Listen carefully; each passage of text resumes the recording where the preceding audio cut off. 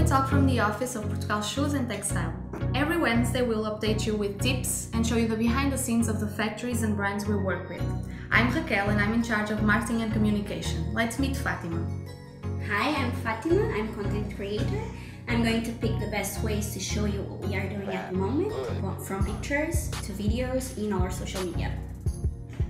Hi, I'm Ricardo from Portugal Shoes. I'm in charge of all operations here at the company. I'm basically your everyday contact following up your project and product.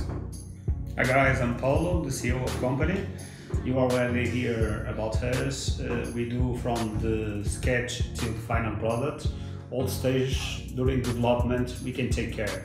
Please contact us, stay with us.